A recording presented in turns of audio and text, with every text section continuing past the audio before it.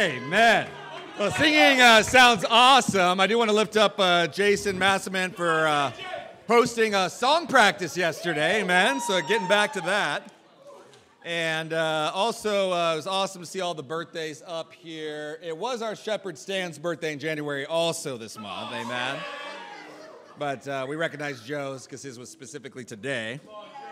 Um, and uh, also, uh, just another announcement is that there will be a leaders meeting for the Bible Talk leaders uh, back here at 2 p.m. Amen? Let's say a word of prayer.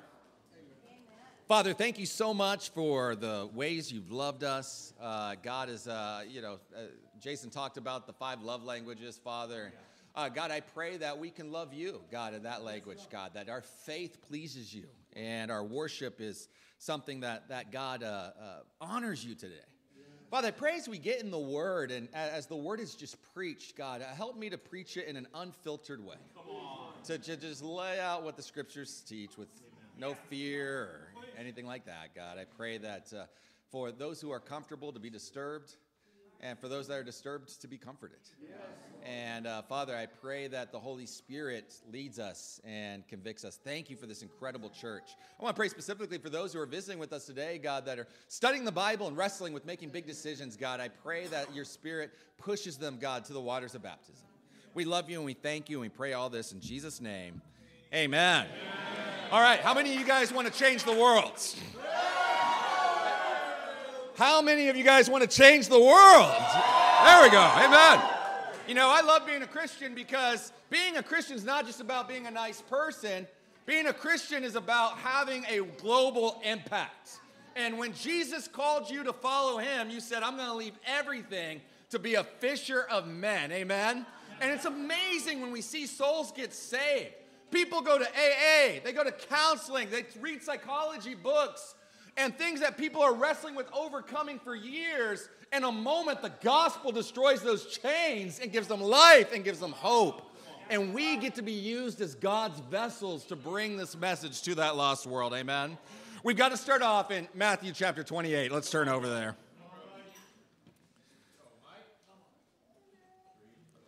What is God's plan to win this world?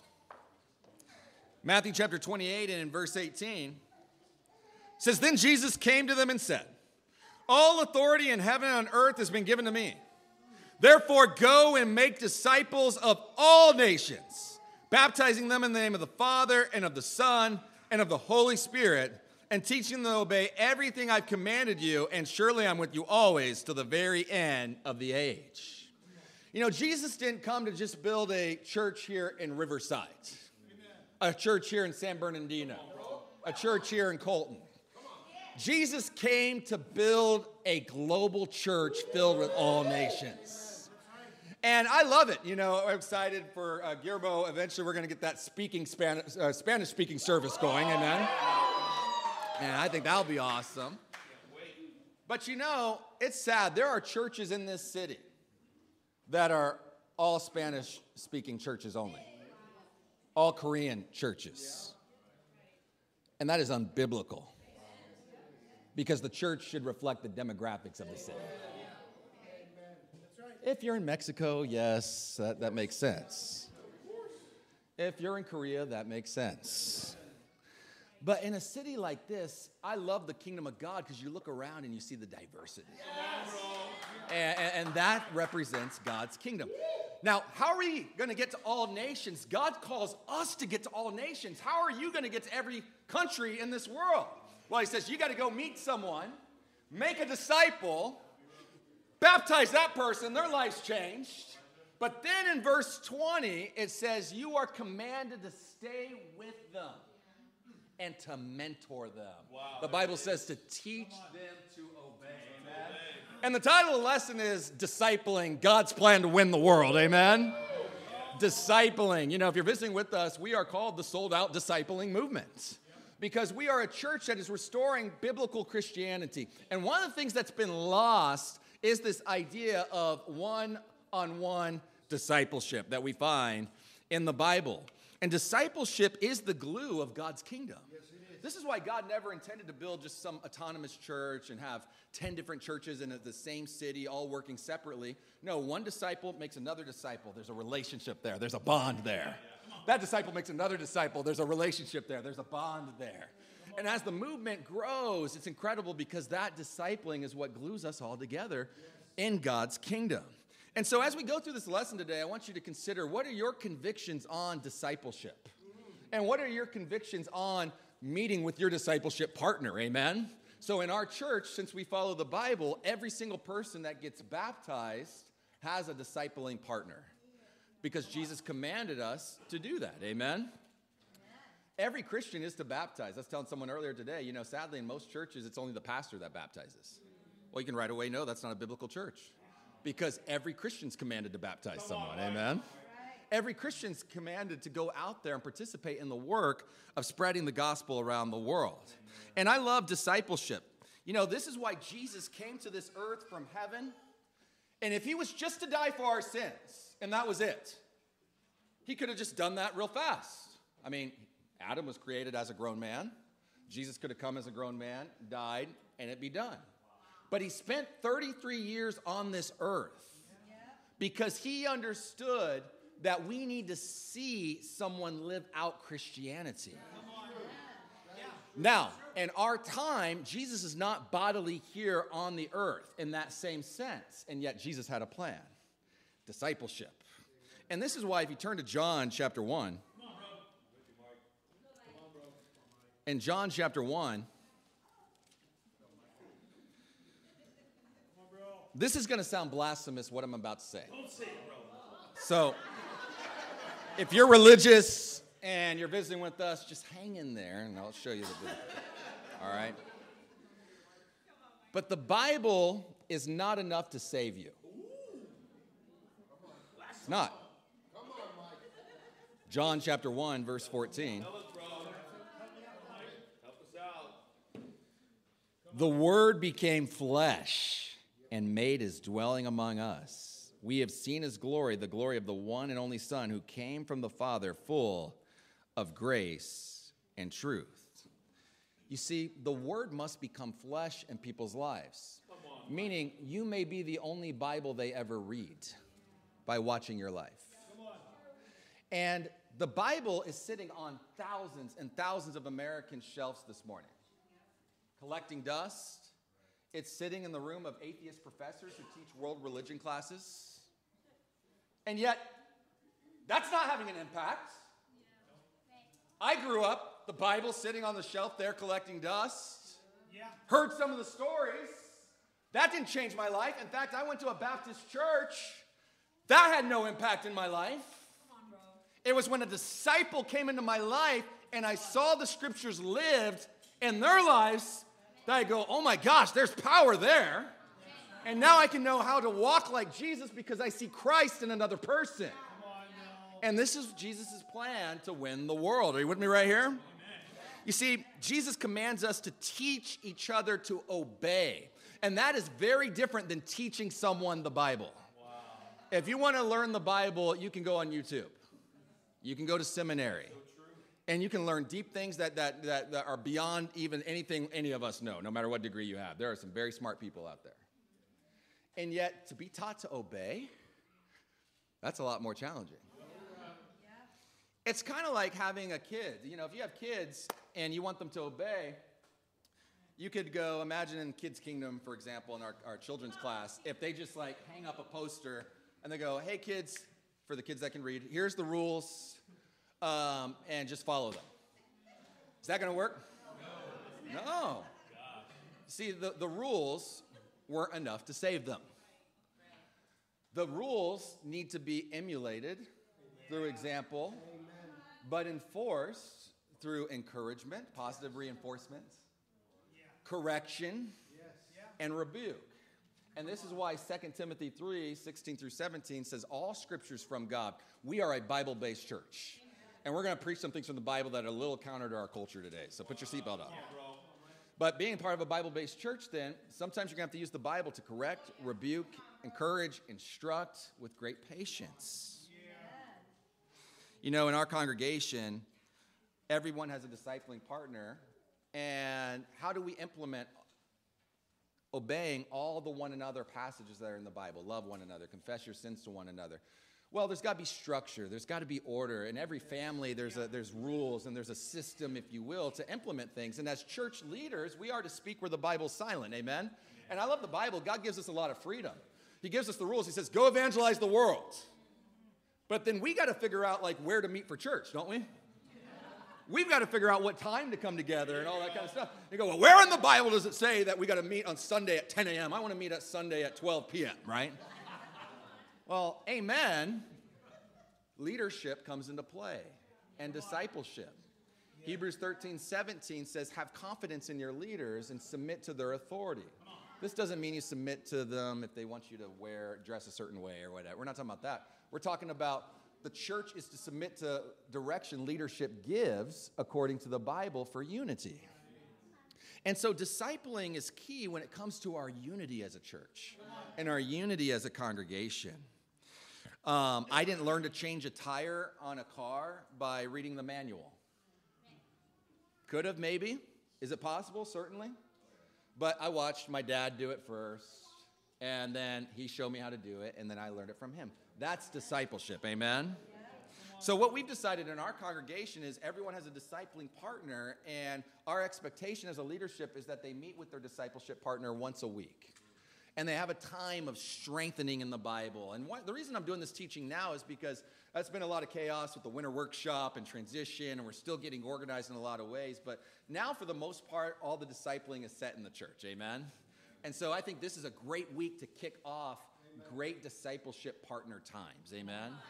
And I find it sad when Christians they kind of neglect discipleship partner times. They're like, well, you got to go to church on Sunday mornings, but yeah, we can just kind of blow off the D time this week.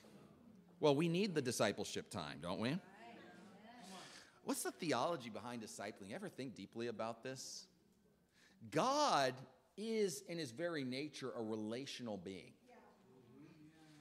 I love in the Bible, it says, let us, in Genesis 1, create man in our image. There's a plurality there. And we understand that God is a plurality with God the Father, Jesus the Son, and the Holy Spirit. And He made men in His image in a sense of plurality. And so we are made in the image of God, thus, we need relationships. And I think God and the Father and the Son, and you read about this relationship they share in the book of John, it's just so powerful that they just needed to pour out that love on someone else, and so they created us. Amen? And they invite us to walk in that relationship. Jesus had a discipling relationship, and it was with his Father, God. And you go, well, that's not fair. They were, they were equal. Well, sort of. Let's go, in, if you will, to 1 Corinthians chapter 11.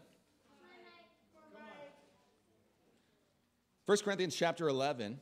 And as you're turning there, I just want to share and rattle off some uh, discipling relationships in the Bible that I think are fun to study out. You've got, uh, of course, the first discipling occurs in the marriage, amen?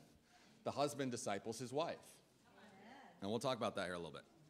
But also, we find Moses discipled Joshua, Samuel discipled Saul, Samuel also discipled David, Nathan discipled David. Jesus discipled the 12, but even within the 12, he discipled more specifically Peter, James, and John. Uh, Barnabas discipled Paul, and then Paul rose up uh, uh, more than Barnabas, and so that relationship shifted to where Paul discipled Barnabas. And there's a direct shift in the book of Acts there. And that's always awesome. A great discipler's goal is he wants the people he leads to raise up and do greater things than he does.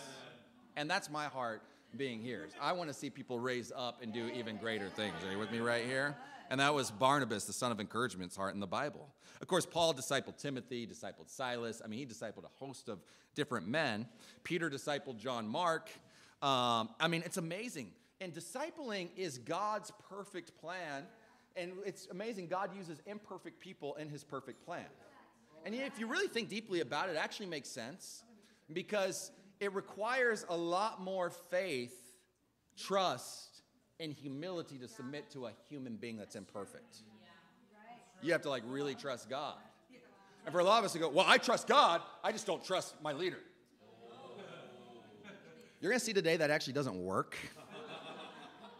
And I'm not saying they're perfect or you have to, you know, do everything they say if it's unbiblical or anything like that. So forget that. That is not what we're talking about today. I'm saying when you trust God, you trust the people He's put in your life. And, and, it requires qualities faith, trust, humility, and submission. I think we get faked out. The discipleship study we do in the church as our first principles series is not really about discipleship. It's really about just how to become a Christian. Discipleship is more about fellowship, following someone. What Jesus did when he called his original followers in Mark chapter 1 is he said, Hey, come walk with me, and I'm going to make you into something. I'm going to mentor you. I'm going to coach you. So I find the word I like to use to kind of view discipleship is mentorship. That's kind of the modern word we use a lot. And even the world understands mentorship in, in a great way. If you want to get wealthy, you're going to want to try to find wealthy people to be around that can teach you and mentor you in their ways. Amen? And so part of discipling then is walking with Jesus and seeing a living and breathing example and then being that to others that we disciple. In 1 Corinthians chapter 11 and verse 1, Paul writes this to the church. He says, "Follow my example as I follow the example of Christ." I like the King James. It says, "Imitate me as I imitate Christ." Verse 2, "I praise you for remembering me in everything and for holding to the traditions as I pass them on to you. Do you know there's traditions in the church? Yeah. It kind of throws us off a little bit, doesn't it? Yeah. He's praising them for holding on to traditions. See, we understand from Matthew 15 traditions that go against the Bible when it comes to salvation are wrong. That's false doctrine. But here he's talking about traditions like customs, things that, that they do to be orderly. It'd be like for us, a tradition is we meet at 10 a.m. here at the Comfort Inn. He says, I praise you for holding on to that direction. But he wants to disciple them a little bit. Now, some context here you had some women in the church who started getting a little rowdy, okay? They started getting a little out of, out of control. And there was a, a movement. There was a movement uh, in, in Rome at the time called the New Women Movement. And this was similar to our, our feminist movement today. And uh, back then, you would wear a head covering um, in this culture as a symbol of, of your, your, you being married. So it'd be kind of like our wedding ring today.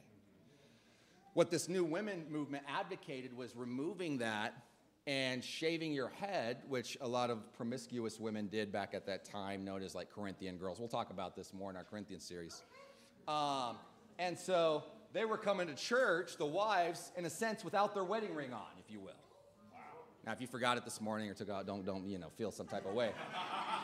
this was intentional. And they were just being promiscuous and independent and woman power and all this stuff. So, Paul in 1 Corinthians 11 addresses this. And you understand it always starts with the husband not discipling his wife. And there's an ordering of relationships in the church. And everything in our culture is teaching against this today. So 1 Corinthians 11, verse 3.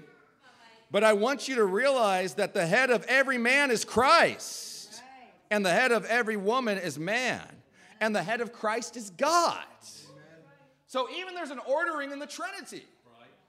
God is the head of Christ. You're not a Trinitarian church. What's going on? No, we are. They're equal, but there's an ordering. And we need to understand in the marriage that emulates that discipling relationship. There's equality because we're all equal before the foot of the cross. But there's an ordering. I have authority over my wife. And, and, and amen, she's fired up about it. You go, she's sitting in the back because you're preaching this, you know, today. No. Our daughter's sick, and so she had to stay out of Kids Kingdom and sit in the back with her, amen? But you know, for me as the preacher of the church, God's given me authority over the church but I'm equal with you at the foot of the cross. I'm not like better than you or anything like that. It's just simply the ordering of roles. And this world will tell you to get rid of all that. Well, just look at the world and see how that's working. Doesn't work, does it? But we need to start if we're going to talk about discipling. And our first point is discipling involves servitude. But, but before I get into the servitude thing, we need to understand that discipling starts in the family starts in the family. I believe every husband should have a family devotional time with their family. And we fall short sometimes in this and things get busy, but I find one of the temptations I know for me is like you take your family for granted. And it starts out with a place of love. You just kind of know they're, they're not going. I mean, I know Chanel's just loyal. You know what I'm saying? Like, I, I don't really have to worry about it, quote unquote. And, but that can go to a place then of like, you just start not taking care of it. Yeah. Right. And then you're like, oh, I've got all these D times with everybody else in the church, but then you're letting your own family start to drift. And so I've got to ask the husbands in the church do you have a D time, a discipleship time with your spouse? Where you sit down and you open the Bible, and then you bring your kids in at some point, and you have a, a devotional time with your kids, and you're teaching them the Word of God. And, and I love it, but, but we've had fun with Bellamy before, where we've done family devotionals, where you know, get a it's easy stuff. You just kind of I just think of it last minute usually, you know, like just get a box that's Noah's Ark, you know, we're going to find all the stuffed animals around the house and throw them in there and then have a little lesson. Or whatever, you know what I'm saying? And, and, and you want to raise your kids in the way of the Lord. It's not the campus minister's responsibility. It's not the youth minister's responsibility. It's not the kids' kingdom. When they, you stand before God, it's going to go, Did I train and disciple my children in the Lord? Now, if you go to Ephesians chapter 5, In Ephesians chapter 5, we're going to look in verse 22. Sadly, sometimes cultures even impacted translations of the Bible. Yeah. I'm not trying to cause people to doubt the Bible or anything like that. It's just, it's just the reality is all the ways it's broken up and the headings and different things like that uh, were done by people, us. And it's helpful because it kind of breaks it down in sections. I'm, I'm grateful for it. But you'll notice it's very interesting in all translations of the Bible until recently, the new ones. Verse Ephesians 5 verse 21 used to be set up with Ephesians 5:20 above in that section, but they've dropped the heading to be above verse 21 to try to include where it says submit to one another out of reverence for Christ, to try to make it more equal footing that well, the husband has to submit to the wife too. And it's lost the context where verse 21 is actually referring back to being filled with the Spirit and in our communal sense of fellowship. I mean, that's what Ephesians 4 is talking about the church being one body and, and all of our roles. We all have to have a humility before one another. Are you with me right here? and then he shifts to the subject of marriage. And it's not like verse 21 is all just going to contradict verse 22. He's talking about a different ordering here. In verse 22, wives, submit yourselves to your own husbands as you do to the Lord. For the husband is the head of the wife, as Christ is the head of the church, his body, of which he is a Savior. Now, as the church submits to Christ, so also wives should submit to their husbands in some things. Husbands, okay, just make sure you're paying attention. Everything, amen. All the brothers are like, yeah, preach that, bro. Well, we're not off the hook yet, amen. But, sisters, I, I, I do want to encourage you do you submit to your husband in everything? And, or do we allow culture to influence us? Do we get manipulative? You know, God gave Adam the office and Eve the influence. Man's been given the office and woman's been given the influence. And you say, well, that's not fair. Well, influence is, is sometimes more powerful than office. Wars have been lost because of a, a woman's influence. Women are powerful. But what happens a lot of times is if you use your influence for evil and you're uh, constantly being like Jezebel in the Bible and trying to like just manipulate your husband and, and beat him down, what happened with Ahab in the Bible? He was just this sullen character that was just kind of beat down and finally just kind of, I'm just going to let my wife run things because that's easier. That's easier. And it is. Leadership's tough. And I think for sisters, we need to understand that, that uh, you may think your husband does nothing, that they carry the weight of the world of their family on their shoulders every single day. And that's got to be honored, respected, and we need to go, I've got to follow Jesus Christ. Now, here's the challenge He says, submit to your husband as the church submits to Christ. So, one thing that helps is when you're struggling in your marriage, you got to go, Would I act this way with Jesus Christ as my husband? Woo! Come on. Getting, getting this tough, huh? I like looking at people's faces while I'm preaching. Just kind of like, who's really struggling with this one? Um, let's read on for the guys here.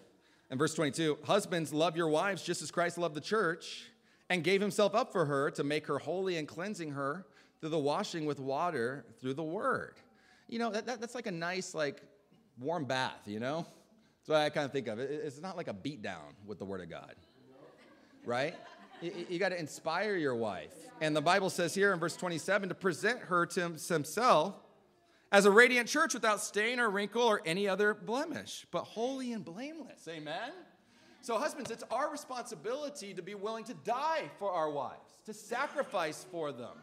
Um, there is a place uh, uh, that, that can come for, for giving up different things you want to do to make them radiant and happy. Amen? I listen to my wife. I want her influence. She makes me a better man of God. I, I ask her what she thinks about things because I value her input. Amen. But there are times I just go, Amen, I appreciate that. That's not what we're going to do. And I get to reap the consequences later if it was stupid. Amen? and you know the thing I appreciate about Chanel? It's not like I told you so, you idiot, or whatever. He's like, I'm with you. You know what I mean? And, and, and it's awesome. It's awesome. But husbands, do you disciple your wives? You know, for shepherds in the church, being a shepherd or being an elder, or, and I'm not preaching to our shepherds. I'm just saying being a shepherd or an elder is a requirement is to be a leader of your wife, to be faithful to your wife. That, that verse encompasses so much more than just, um, you know, you're married. But, but what's your marriage like at home? Are there, are there D times? Is there intimacy? Is there a, a, relationship? Do people look and go, man, that's a relationship I want? That's a marriage I want. And I believe discipling is what brings us this. And this is why, as married couples, we need discipling from other married couples. And we need to open up our, our lives. And sometimes we can get the Ananias and Sapphira effect where we want to kind of keep everything behind closed doors. And I won't go into that, but you know what happened to them? They died, you know? Because they, they didn't want to be open. They had a sin pact with their spouse. And, and that, that's never good. I know for me in my own life, I've had to watch how I talk about even the church around my spouse. And here's the thing the Bible says in 1 Peter 3 the wife is the weaker partner. So sometimes I can come back from a day in the ministry and go, I can't believe brother so and so is doing this, and thinking that I'm just kind of offloading because I feel safe and secure. And then I quickly get over it. And, and now I've just made my wife struggle, though because my wife's going to fight for me. Amen. She's like, that's an injustice. I, am going to take this guy out, you know? And then now I'm like, no, babe, please, come on. Like, I'm trying to, you know? So I'm just saying we've got to be really wise. The man needs to be the rock in his home. And for those of you that are single, you got to carefully consider who you date because you got to look at their relationship. Do they submit to their discipleship partner? Because if they don't, they're not, you're going to be trapped when you're married to that person. Because they're not going to care about getting help or anything like that. And then you're stuck with them because God hates divorce. Now, let me get into the sermon. Amen? Mark chapter 10 and verse 45. Why did Jesus come? Yes, to seek and to save the lost. But I love there's another passage that says why he came. And Mark 10, verse 45, I'll just quote it here. It says that Jesus came not to be served, but to serve and to give his life as a ransom for many. Jesus, who had all authority, he's God, came to serve. Go to Philippians chapter 2. Come on, bro. Philippians chapter 2. We're going to be all over the Bible today. In Philippians 2, in verse 5 in your relationships with one another, have the same mindset as Christ Jesus. I like the old translation have the attitude of Christ. So there's a disposition we carry ourselves with as Christians. Verse 6 who being in very nature God, did not consider equality with God something to be used to his own advantage. Rather, he made himself nothing, taking the very nature of a servant and being made in human likeness and being found in appearance as a man, he humbled himself by becoming obedient to death and even death on a cross. Is that awesome?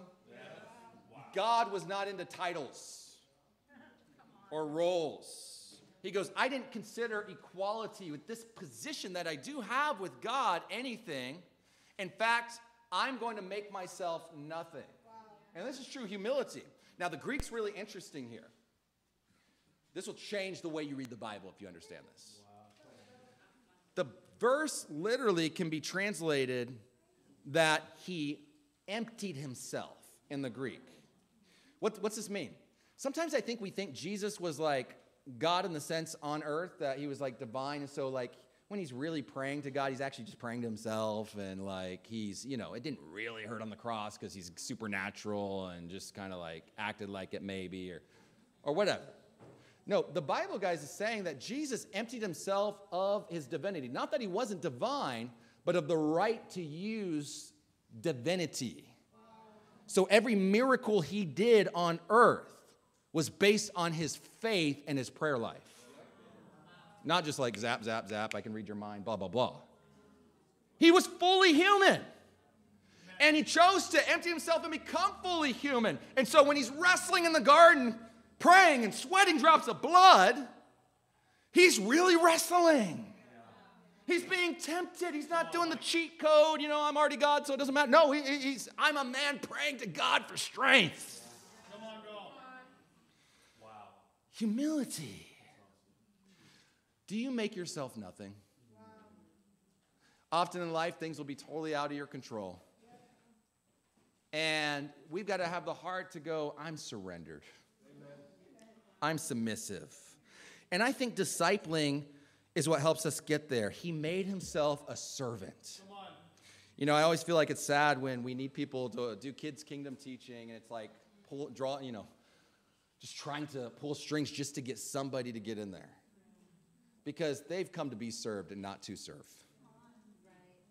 Or when people don't stick around after church to help clean up or be in someone's house and eat their food and then just take off. These are the types of things we got to go, guys, why have we come? We need to come to church to serve. We need to be like Jesus. We need to have a heart that's willing to give and not this consumer mindset that can come into Christianity. Now, I, uh, my favorite discipling relationship in the Bible outside of uh, Jesus and God, and Jesus and God had a discipling relationship. Uh, as I said, he prayed to him. He was mentored by God. And that's a whole other study we could do, but I think it's really cool because it shows discipling is not just like a counseling therapy session every week. And sometimes discipling can turn into like a Catholic kind of confessional thing where it's like, I store up all my problems and everything I want to just kind of vomit on somebody. And then we meet and we just talk about that every week and it's like the same thing every week. Wow. Jesus, the Bible says, learned obedience from God, never sinned. But that discipling relationship was based on winning others to Christ. You see, fundamentally, our discipling is to be training each other to win the world. And that's what I love spending D times about. And we'll see later, we should have a daily relationship. So you're talking about sin already, you're confessing things and stuff, but, but we've got work to do, amen, guys, in the IE. Now, my favorite discipling relationship outside of Jesus and God is Elijah and Elisha. And if you go to 1 Kings chapter 19, Come on, bro. 1 Kings chapter 19. As you're turning there, I want you to understand discipling was crucial to the early church's growth. They did not have a Bible, guys, in the early church in the first century. Um, and only rich members did. A few of them did. Wealthy people that had the scrolls and stuff. And so remember, they had to actually rely on discipleship at a level we never will understand wow. to be able to bring the word of God to somebody. And in 1 Kings chapter 19, in verse 19, we find the beginning of the discipling relationship between Elijah with a J and Elisha. Amen? And it says in verse 19 So Elijah went from there and found Elisha, son of Shaphat. He was plowing with 12 yoke of oxen, and he himself was driving the 12th pair. Elijah went up to him and threw his cloak around him. Elisha then left his oxen and ran after Elijah. Let me kiss my father and mother goodbye, he said, and then I'll come with you. Go back, Elijah replied. What have I done to you? So Elisha left him and went back. He took his yoke of oxen and slaughtered them. He burned the plowing equipment to cook the meat and gave it to the people, and they ate. Then he set out to follow Elijah and became his servant. This is radical. Elijah's the man of God. He has the cloak, or what's known as the mantle. And, and this is the, the sign of discipleship, if you will, that you're calling somebody to follow you and learn the ways of the Lord. And he comes, he says, Here, follow me. And Elisha goes, Well, I want to go back first and say goodbye to my family. And we know from the discipleship study that's a no go. Are you with me right here? He goes, Dude, you're putting your family before God and God's man? What have I done to you to deserve this? And Elisha's smart. He goes back to his family and he goes, No, watch this. He burns the family business, destroys the equipment to show he's all in. I'm not going back. I have nothing to return to. And he gives the food because he wants to be loving towards his family. Amen. But he comes back and he's all in. He's committing to this relationship. For a great discipling relationship to work, you've got to commit to the relationship. Say, I'm not leaving. I'm not going back. We get, you know, you're going to get hurt in, in human relationships. But there's a commitment to fight for it. I appreciated the contribution today. I, I, I thought that was awesome. I, I was like, you know, this is good. Part of our giving is our relationships are reconciled together and we're unified at whatever cost. You know, in 2 Kings chapter 3, look at the heart of this guy. And notice what it said Elijah, uh, Elisha became his servant. Now, the word servant is minister. And most translations will say minister. We think of a minister as like me, I'm your guys' minister. But actually, minister in the Bible, you're a minister to the people that disciple you. So you're a servant. So Elisha ministered to Elijah, meaning part of a discipling relationship is serving those who mentor you. this is one is, a, is another challenging teaching. Why? Because they're pouring out so much to you to make you great and serving you. I like this little verse. This is kind of random, but in 2 Kings 3, verse 11. Come on, bro. Just look at it. We just get a glimpse in their relationship here. Uh, verse 11, it says, But Jehoshaphat asked, Is there no prophet of the Lord here through whom we may inquire the Lord? An officer of the king of Israel answered, Elisha, son of Shaphat, is here. He used to pour water on the hands of Elisha. And that, that, that means pour water. Some translations, you know, that washed his hands. And so he served him by washing his hands. It's crazy. For the 22 years before Elisha ever first prophesied, he just served. Just served. I myself am a servant first to God and to Jesus Christ, of course, but I'm a servant to Jason Dimitri. He's my mentor, he's my discipler. I'm not confused about that. Uh, it's not my role to be his minister and, or his overseer. It's my role to be his minister and to serve him and to learn from him. And the problem in our society is everyone wants to be bosses instead of servants. And you can't be Paul until you're first a, a Timothy. And, you know, for, for me, I, have had great discipling relationships, and then I've discipled other people that are just challenging. There are nice people that you will disciple, but they're actually not really good disciples. They're just, they're just agreeable. I remember one guy used to disciple all the time. I'd say, "Hey, bro, why don't you do this or try this?" He'd be like, "Yeah, that sounds that sounds good. Yeah, I actually was thinking that the other day, and I started doing that every single time for everything." And I was just like, "Dude," and we we talked about it. I'm like, "Bro, you know, you're agreeable to everything, but you don't actually really follow direction." and with the cops, we've been having this uh, campaign that we've been doing. And cops, if you're visiting with us, is not like police force. It's it's a, a company of prophets. What stands for. And I told them, I, uh, you know, I actually expect you to do what I say. Uh, it's not like just an idea or like a suggestion or, or something that we're just kind of, you know, if you feel like it or you get time to be a part of this group, you got to be willing to be discipled by me. You don't have to be discipled by me. Right. You don't have to be a part of that group. But if you're going to be a part of it, we're going to build something really awesome. Come On, Mike. but but a few of them, I, have got my running list, are going to get. They're getting a rude awakening here really soon because it's missing it, don't care, you know, here and there. So I'm like, we don't do that. and this was Elisha's heart was, I've burned everything. I've destroyed everything to be with you. I, I, I'm here. I want to learn your heart and your life. How much do you prioritize the man or woman of God in your life? Wow. Um, I'll be in a Bible study. I'll be talking to someone. There's only two people I'll pick up for the phone with in my life and interrupt that meeting. It's my wife or my discipler, Jason Dimitri. I'm not rude or anything. I just go, oh, excuse me for a moment. But because he takes priority in my life, this is the person God has put into my life to teach me to obey. Amen.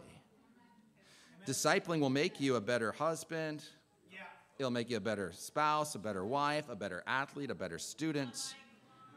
And if you don't like this or this makes you uncomfortable, you don't understand basic discipleship and you want an American version of Christianity that's not Christianity at all. And the man of God will drive you at times, they will push you.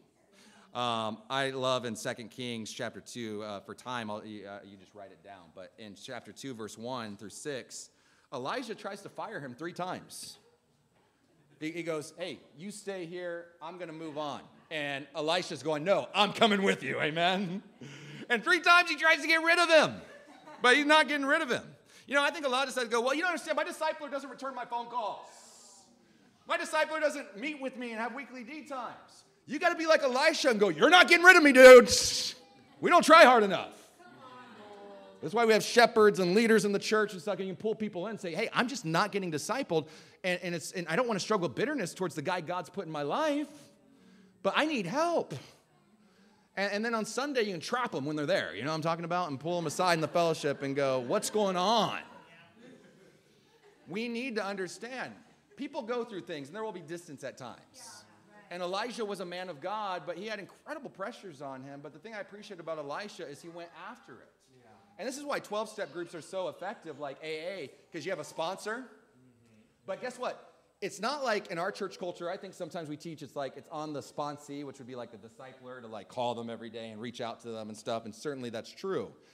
But in their group, it's on the sponsee, the person being sponsored, to reach out. Because here's the thing you're not going to change and give up alcohol if you actually don't really want to reach out. No one can do that for you. And fundamentally, you have to want to be discipled. It's not going to work if you're just waiting on someone else to do your Christianity for you. You've got to want to be discipled. Amen. Um, I love uh, uh, discipling, and I think there's a sense of honor that, that comes with discipling um, in a lot of ways because honor is a lost concept in our society too. And this is the second point: is discipling involves honor. It, just, it, involves honor. Imagine if, if for you sisters, maybe you were got chosen to be an intern of Beyonce or something like that, right? wow. You'd just be fired up. I mean, you, you see these people, you'd be like, oh my gosh, I'll, I'll, I'll, pick up your, your nail clippings or whatever. You know what I'm saying? Like, I'm just excited to be in front of Beyonce or whatever. Or, or, or, maybe you're into politics, you, you're excited to be the, the, the you know, intern of the president of the United States or something like that. Um, and, and, you're just fired up. But here's the thing, guys you get to be an intern to a man of God.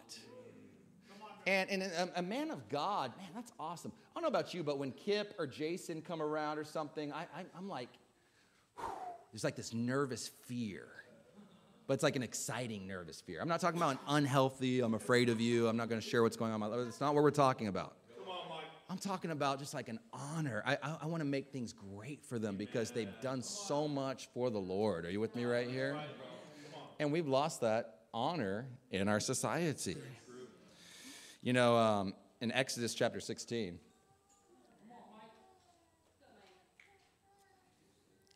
Exodus 16 and verse 1. Something that happens after we get baptized sometimes is. Uh, we start to miss the world. And this is why discipling is so crucial because it keeps our eyes focused on Christ. We can actually miss our slavery, but a lot of that's just because of what that's just what we were used to. And in Exodus 16, verse 1, it says, The whole Israelite community set out from Elim and came to the desert of Sin. It doesn't sound good already. Which is between Elim and Sinai on the 15th day of the second month after they had come out of Egypt. In the desert, the whole community grumbled against Moses and Aaron. The Israelites said to them, If only we had died by the Lord's hand in Egypt, there we sat around pots of meat and ate all the food we wanted, but you have brought us out into the desert to starve this entire assembly to death. Oh, man. Well, what was going on here? They're struggling. Now, you're going to find, I think they're struggling because they only have one guy available that can meet all their needs at this point. No discipling really going on. Only Moses is the one that's meeting all their needs. They don't have someone keeping their eyes focused on God to remind them, dude, do you remember when you made all these pyramid type structures with like no straw? You remember how bad that was? And you want to go back and be a slave? And so in their mind, they started to romanticize the world again, that it looks so good and nice. And, and we can do that as Christians. But that's why we need someone in our lives. Now, if you go on, it's interesting because the Bible says here in verse uh, 8, Moses said, You will know that the Lord is good, and he gives you meat to eat in the evening and the bread you want in the morning, because he has heard your grumbling against him. Who are we? You are not grumbling against us, but against the Lord. To grumble against God's leadership is to grumble against God. And again, I think we think we're entitled sometimes to just complain. And, and there's a difference between complaining and grumbling and faithful solutions. Yes, faithful on. solutions. Now, what happened in Exodus chapter 18, turn over there. So we got this dire kind of situation, and it gets more worse, you know. Moses finally just kind of loses it, you know, and, and hits the rock, and it's just all bad. You know, when you don't have discipling going on in the church, the, the, the, the preacher's not going to last long. It, it just, they're just going to, Moses literally didn't get to see the promised land because he just got too angry, too upset. And in Exodus chapter 18, you guys still with me? Verse, 12, verse 13.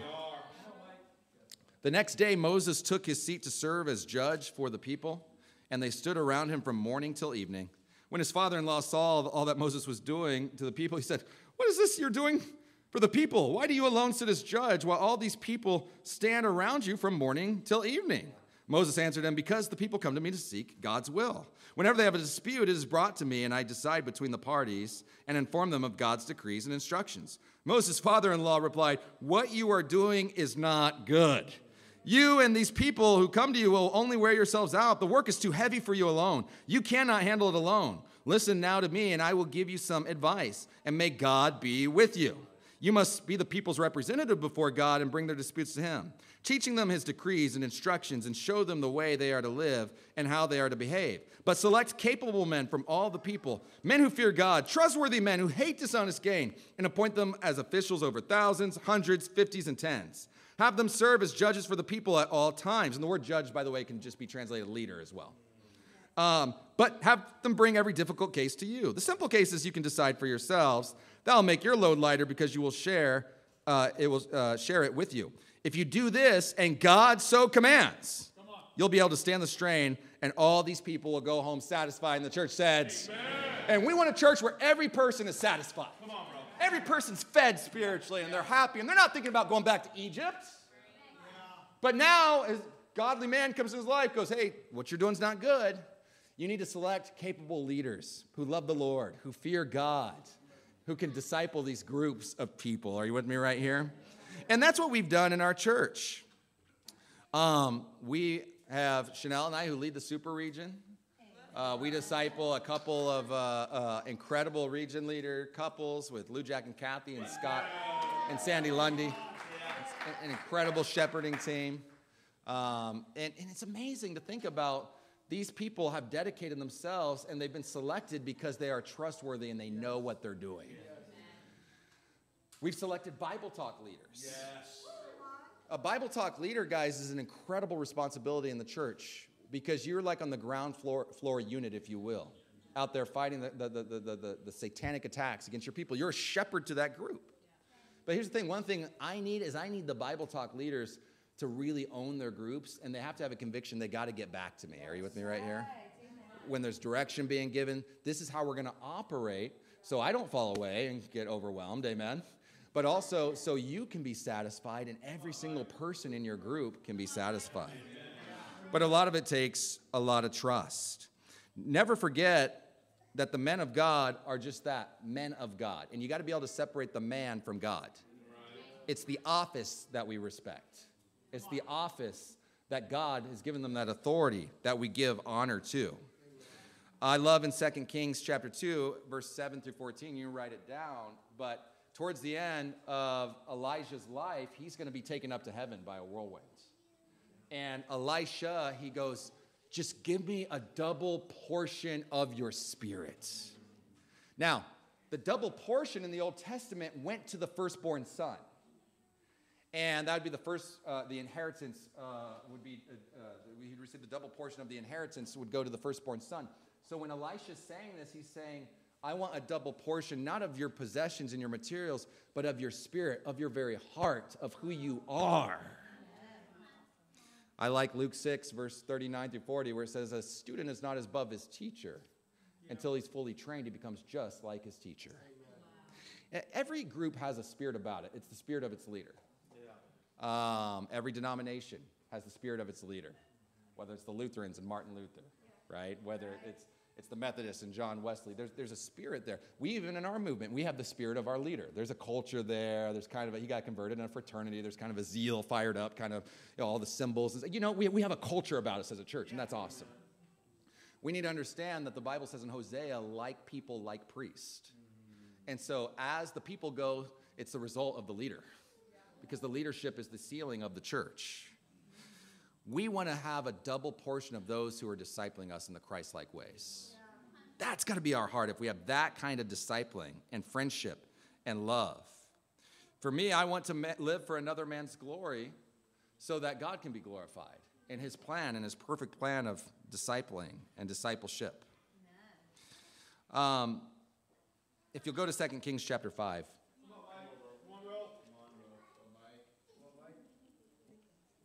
2 Kings chapter 5. If you can't serve the man of God, how could God entrust you with souls? God doesn't want men and women that are going to lord it over people, be harsh. He wants servants. Moses and Joshua had a great discipling relationship because Joshua was, was able to continue his ministry. But God will destroy you if you forsake the man of God. Go read about Korah and his rebellion. You remember that? The earth opens up and swallows them. A lot of people don't realize the literal text in the Hebrew reads that they went straight to hell, like in bodily form, like just. Um, then think about Aaron and Miriam. Remember that? Got a little, little, little racist there, and he made them turn white. You know, I mean, God's like, I'm not dealing with this. He just rebellion. That was intense. In 2 Kings chapter 5 and verse 20. We got another guy that's uh, not a great example. says here, Gehazi, the servant of Elisha. So this was uh, the guy Elisha was discipling, Gehazi. Said to himself, My master was too easy on Naaman the Aramean by not accepting from him what he brought. As surely as the Lord lives, I will run after him and get something from him. So Gehazi hurried after Naaman. When Naaman saw him running toward him, he got down from the chariot to meet him. Is everything all right? He asked. Everything's all right, Gehazi answered. My master sent me to say, Two young men from the company of the prophets have just come to me from the hill country of Ephraim. Please give them a talent of silver and two sets of clothing. So, what's going on here? Elisha had just healed this guy named Naaman, dipped him, baptized him seven times in a river, and his leprosy was healed. And usually in that time, you know, it was something miraculous like that, you would, you would get paid for it. But Elisha's like, nah, you know, I don't really need this full cost, and they moved on.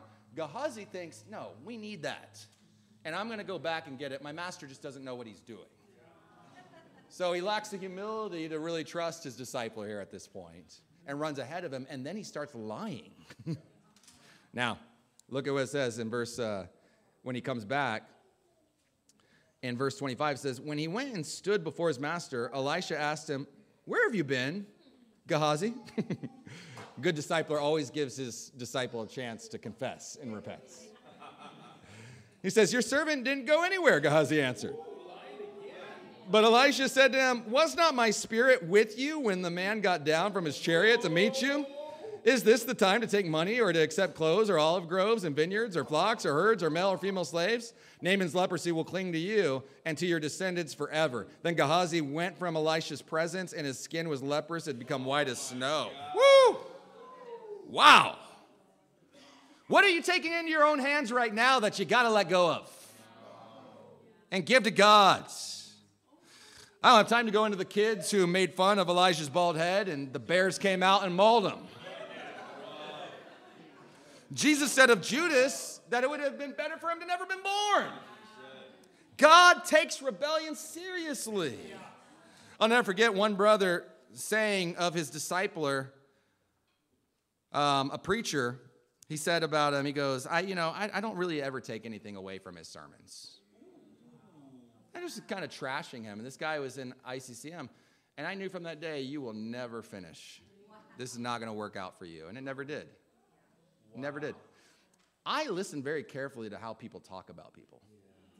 Because you can hear honor in people's mouths, you can hear slights, you can see in people's disposition one of honor or not or dishonor. And it's important to understand. Honor is such a huge part of discipling. It makes discipling attractive and inspiring because it's so different from the world. Absalom and Solomon. Absalom and Solomon had the same father. The difference between them is one chose to honor his father and the other didn't. Uh, you could have the best discipler in the world and still not honor. Demas was discipled by Paul but left for the world and fell away. Uh, prisons, they're full of people who just simply never learn to honor. That's it. I believe every sin is one of, of honor. Uh, uh, the first four Ten Commandments are honoring God, and the last are about honoring each other. The one difference between your present and your future is simply who you decide to start honoring. Um, I believe I'm a byproduct of honor. I, I, the only reason I'm standing before you is because I've honored the right people that God's put in my life. Amen. And honor will cover your sins. Honor will cover your sins where people that don't practice honor, their sins will still be in, on them in the eyes of people. But honor will cover your sins. Uh, we're taught, sadly, obedience at the threat of loss or pain. But when we understand honor, it can cover our sins and make us more righteous people. It's what caused Pharaoh to make Joseph over all of Egypt in less than 10 verses in the Bible because he chose to honor. And I believe if you looked at your life right now and you trace all your losses, wow. you'll trace them to a moment of dishonor. Wow. I believe it's part of why our former fellowship fell away. There was a loss of honor to the offices that God had set up. And because of that, it fell apart. Mm-hmm. And it's sad. You ever apply the, the, a great passage to the wrong situation? A lot of people think, even with leadership in the Bible, you know, in 1 Timothy 5, you're not supposed to Matthew 18 your leaders. Did you know that? Mm. The Bible says there needs to be two or more witnesses to bring even a charge before an elder or a shepherd. Matthew 18 is just for everyone else. That, that's how serious God takes leadership. A lot of you guys are shocked right now. You're like, like, like, like, like what are we talking about here? It's because we've drifted so far from what the scriptures teach when it comes about honor. And you never forget dishonor. I mean, you, you, can probably remember times when people just disrespected you and, and didn't honor you. You know what I mean? And it, it, sticks with, it sticks with you. So I want to encourage us to be a ministry that honors people. You know, for a lot of us, um, we try to get by on our talent and our skills, but we lack a heart of honor. I'll never forget, I put a brother in the ministry one time. He was one of the most talented guys I, I ever knew. But I was young and foolish, and I didn't see that he didn't honor those around him. And so it didn't matter about his resume. Listen, Satan had a great resume in heaven. Oh my gosh. Lucifer had a good resume, but he didn't honor God. And fundamentally, what pride is, is wanting to be on the throne and be in control instead of being able to remove yourself. You know, I want to encourage us today honor those who are discipling you. What do you do if you don't uh, like your discipling partner or you don't feel like they're meeting your needs or that sort of thing? You submit to it and you trust. There's been guys, I remember I had a discipler one time, and all he did, I, I can remember one D time with him. And we just sat in this car, and he was a radio DJ in the city I lived in, and he just showed me all this music, and that was it. And I, and I struggled, but I was like, what's God teaching me right now? well, God's put this person in my life, maybe to make me a little bit more fun and like music and loosen up a little bit. God's put this person in my life. His absence teaches me to reach out to others and to reach out to God. And so we need to have a faithful spirit. And finally, guys, the last point is discipling's practical. Discipling's practical. Uh, I want to close in two scriptures. Go to Hebrews chapter 3. Hebrews chapter 3 and verse 12. And we'll get a little practical here. So in verse 12, it says, See to it, brothers and sisters, that none of you has a sinful unbelieving heart that turns away from the living God. But encourage one another on Sundays. As no, man, you're still paying attention. Daily, right? As long as it's called today, so that none of you may be hardened by sin's deceitfulness. You see, it only takes one day. I mean, in my experience, almost like an hour for your heart to get hard. Wrong guy cuts you off on the road there disciple says something mean to you, and, you're just like, what in the world? The spouse forgot to bring the milk home, or whatever, you know? And it's just like, my heart is hard. And the Bible says that we need daily discipling. Now, we get faked out. We think it says, oh, encourage one another. So I just got to bring cookies and nice cards and all this kind of stuff. In the Greek, it can translate, and other translations translate it like this, but exhort one another. Exhort's the idea of it involves encouragement sometimes, admonishment sometimes, rebuke sometimes, because our hearts get hardened by sin. And we live in a sinful world, and there's none of us that don't need discipling. I've never been 38 and had a daughter that's four and been married for 11 years the, until this stage, on this date. It's all new to me. And so I need discipling, I need advice, and I need help. Sin is so dangerous because it hardens the heart. And you think about the way they kill wolves in Alaska is they'll take like a bucket of water and they'll get cow's blood and they'll put it, uh, the Eskimos will put it on like a knife, and they'll put it in the water so that the water like freezes around the knife. And then they'll st- you know, pull the block of ice out with the knife in it, and the wolves will sense this blood. That's kind of how temptation is. Isn't that like sin? Kind of sense it and you feel it sometimes, and you're kind of like, okay. And they, they get drawn to it and they start licking the ice because they want to try to get to that blood. But what happens is as they lick that ice and they lick that ice, their tongue becomes numb and they can't feel anymore. And eventually they, they melt the ice down, licking it until their tongue hits the blade of the knife with the cow blood on it. And then they start getting the cow blood, they start tasting it, and they don't realize their own blood is pouring out, getting mixed with this. And so they're just kind of in this ravenous rage, and then they die and they bleed out. And that's what sin does, isn't it? Lick that impurity, and you lick it again, and you lick it again, and you lick it again, and soon your heart's hard, and you don't feel anymore.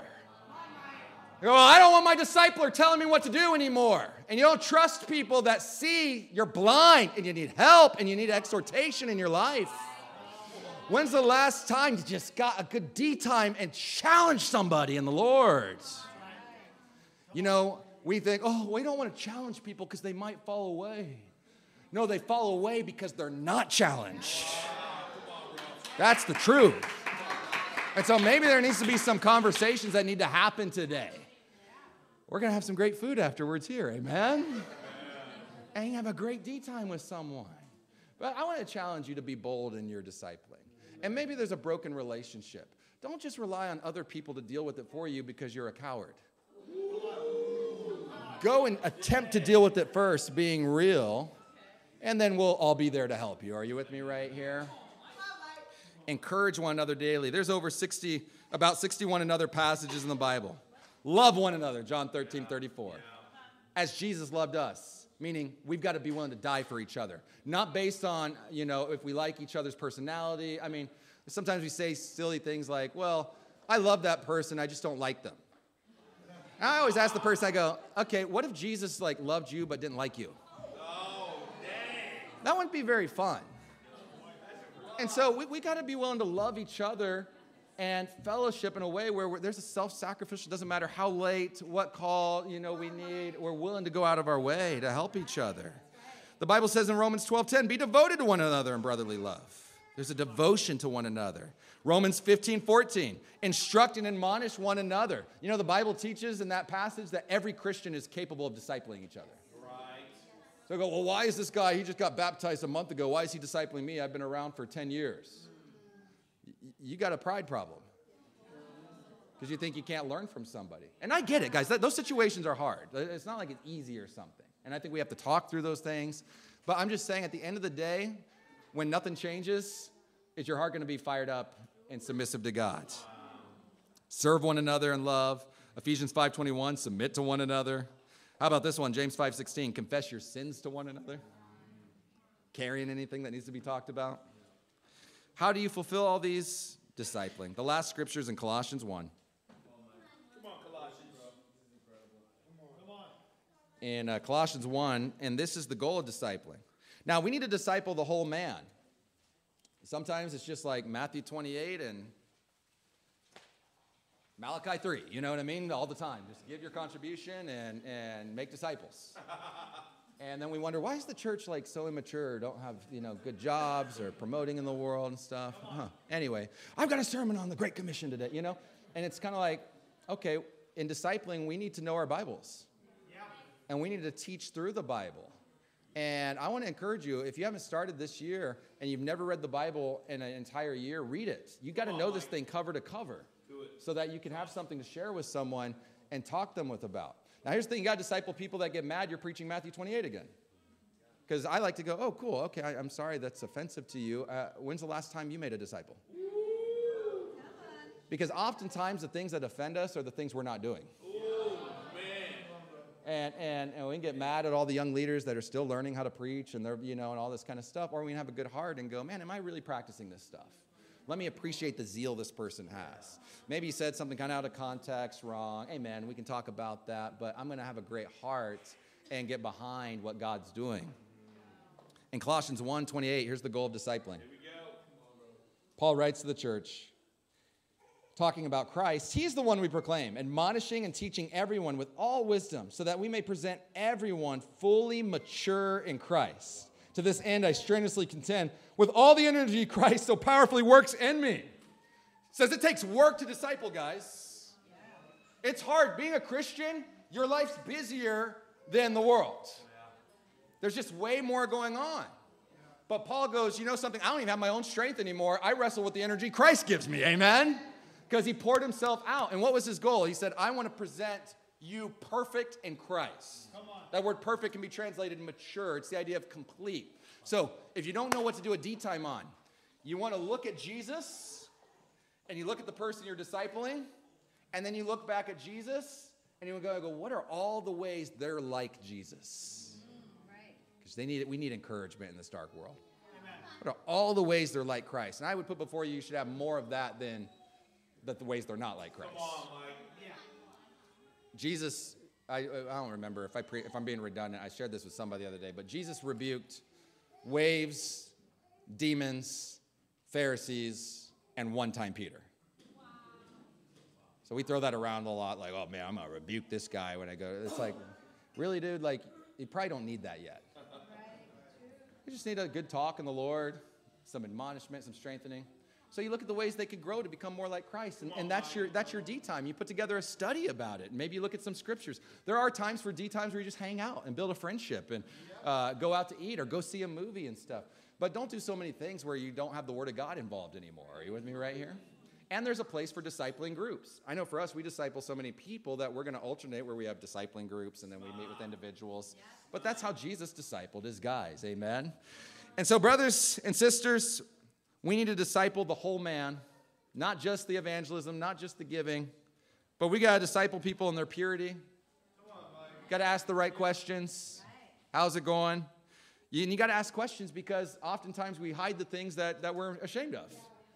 But it could save our very soul if you ask the right question. How are their quiet times going? How's their alcohol consumption? How's their health going? Have they, if someone hasn't seen a doctor in forever, what's going on? Can, can we use some scriptures? The Bible says physical training is of some value, bro. And I'm concerned you're gaining weight. Whatever. These are talks we got to have with each other to make each other more like Christ. Sometimes there's people that are just, they get baptized and amen, bless their heart. They didn't have a lot of friends in the world and they're just kind of weird and they weird people out in the church. But guess what? That's what's great. You're loved by Christ and God can even change that to make you a more social person. I'm a total nerd and loser in the world. I really was, and still am in a lot of ways. But people discipled me on how to be more social. Finances, we need discipling on. Are you willing to share your, your, your finances with someone and get help? Marriage, we all have blind spots. And so, my call today is one, discipling, it's servitude. Make a decision. I'm going to serve the person that's discipling me. I'm going to be a joy to them. Number two, we saw discipling involves honor. Let's honor discipling again in God's movement, where we really can bear that name, the sold out discipling movement. And finally, discipling's practical. And so here's the call. This week, have a great discipleship time with the person who disciples you, and have a great discipleship time with the person you're discipling. Now you go, oh, I don't disciple anybody. Well, then you got to go obey Jesus and find someone to disciple.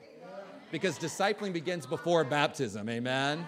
And that's why we're doing the Jumpstart January campaign, because we want to go and disciple the nation so the world can be one for Christ. And to God be the glory, amen?